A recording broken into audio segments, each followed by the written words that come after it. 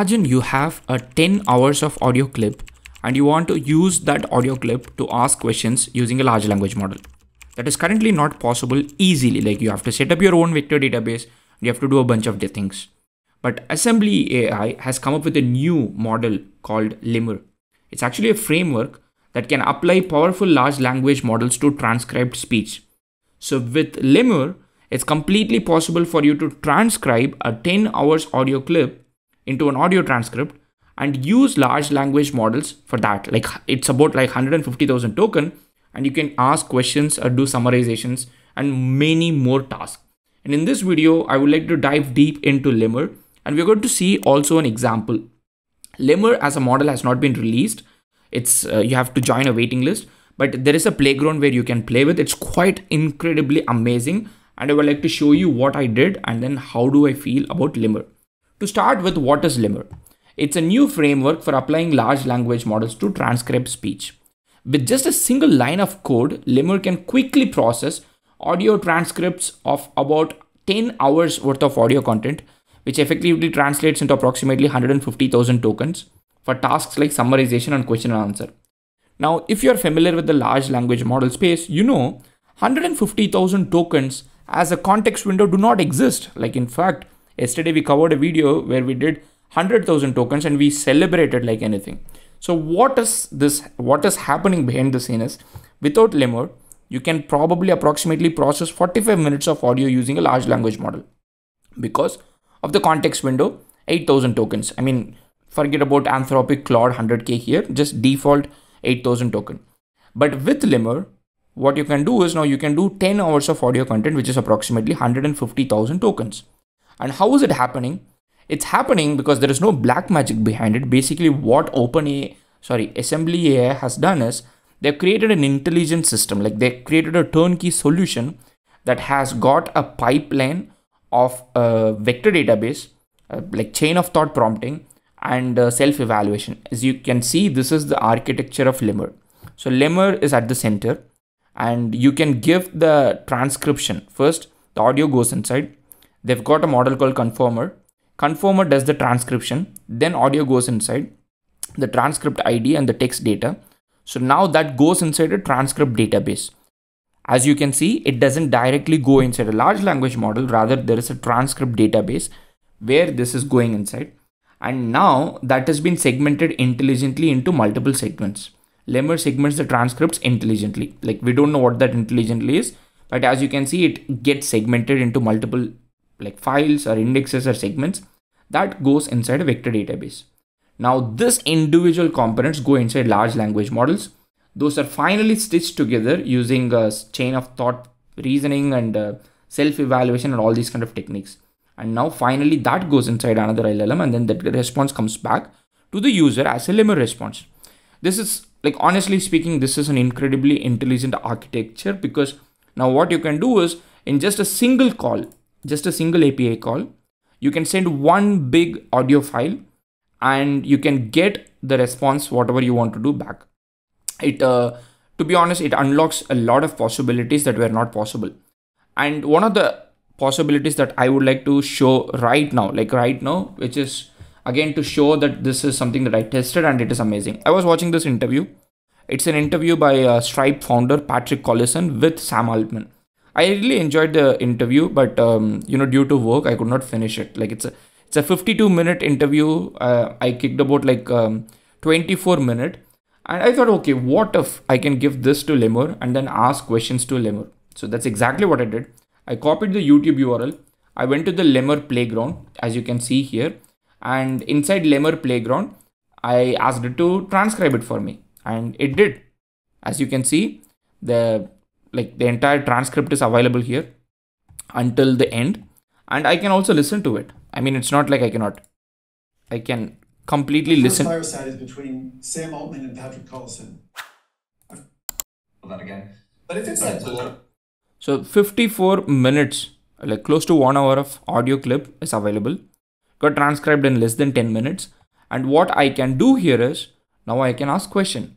So all these things, like whatever is here, it goes inside this large language model. I mean, I mean, unfortunately, I'm not using like a 10 hour audio clip. Uh, probably I need to take a Lex Fridman podcast or a Joe Rogan podcast here, but let's say I'm just taking this and I've given it to Lemur and I can ask questions. I can ask questions like summarize this transcript like I'm 12 years old. I want to ask specific questions about the transcript. How could I improve this transcript for more engagement? Nothing specific. I just want to play with Lemur features. I want to say I want to ask specific questions about the transcript. So what is the question that I want to ask? I know at some point in this interview, there was a discussion about nuclear resources. Okay. So I'm going to say, what did Sam Altman say about nuclear resources and its comparison with AI? Okay, I don't know if it's going to answer. This is the first time I'm trying it out. So answer format, um, that's completely fine. So I just said, what did Sam Altman say about nuclear resources? Its comparison with AI. And I know for sure, like I listened to it, I know what he said. So I, I can see very well if it hallucinates or if it doesn't hallucinate. Uh, Sam Altman said access to nuclear resources is more difficult than for AI due to complex permitting process. Um, this is like one of the one of the point here, but you can actually see nuclear. You can see here. First of all, he was not very interested in uh, people comparing these things, and there were a lot of other um, um, secret, like a um, lot of other questions about nuclear secrets. Even let's see when I specifically say nuclear secrets instead of nuclear resources, what it says. So what did Sam Altman say about nuclear secrets and its comparison with AI? And uh, I'm not editing this video; it's live, as you can see. Let's say that while classifying nuclear secrets is probably a good idea, it's not a complete solution on its own. He thinks the biggest lesson from nuclear non-proliferation for AI safety is creating an international regulatory agency for powerful AI systems similar to IAEA for nuclear technology. This is super impressive. I I'm telling you, you can listen to this podcast I definitely listened to this speech, and this is like this is the context of what he actually said. And we can ask a summary also. Like I can say, uh, do do do a summary, or I can say AI coach. How can I improve this engagement? I don't want to do coach. Uh, let's say I want to do a summary and uh, describe the context and uh, optional. So I can just click generate, and this can create a summary for me.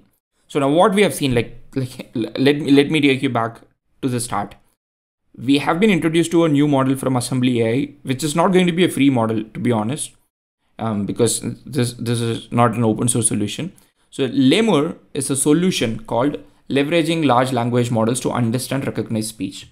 So with one API call, you can transcribe an audio clip or YouTube clip or whatever it is.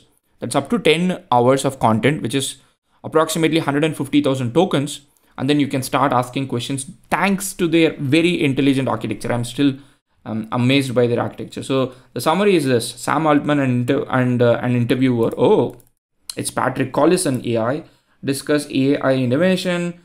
Um, they're talking about what um, they did ai accelerate science scientists capital few talented young founders exist today something wrong as there were many like elon musk before the key points are OpenAI secret advances, AI assisting, replacing scientists, uh, lack of top young founders. So honestly, I wouldn't say this is like a great summary because from the 25 minutes I listened, it's not like the perfect summary that I would have probably expected.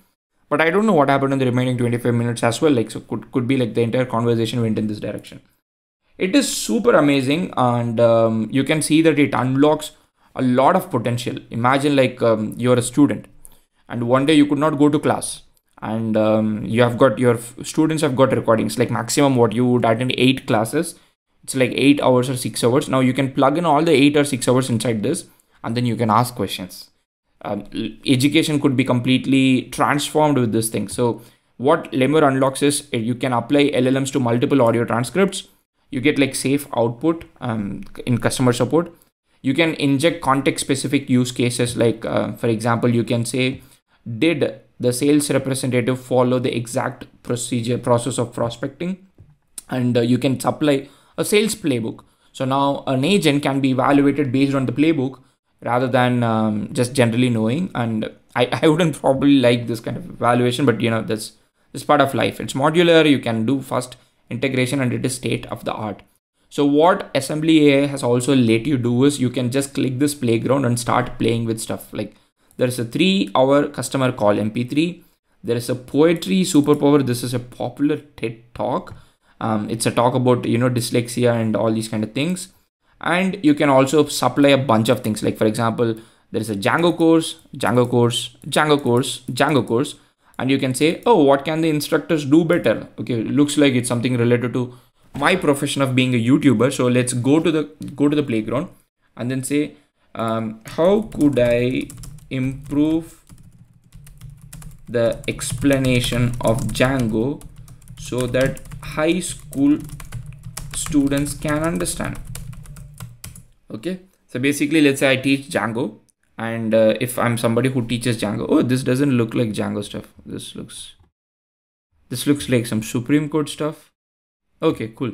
Maybe i came with a wrong transcript. That's fine. Maybe it's going to probably most likely hallucinate and then give us something. Okay this it, it, has given me answers but as you can see um, it is pretty good. And lemur that stands for leveraging large language models to understand recognize speech is currently available as a waiting list. So you can join the waiting list. And once you join the waiting list you get access early access to lemur as a product. You can play with the api but let's say you do not have access just like me. All you can do is click the try in playground and go there. And then you can paste a youtube link or upload an audio and then start playing with lemur incredible piece of technology but i think this is also going to give idea to a lot of startups about how to build this kind of solution where you can now artificially increasing the context window of a large language model using some intelligent turnkey solution. Quite exciting times. Let me know in the comments what you feel about it. See you in another video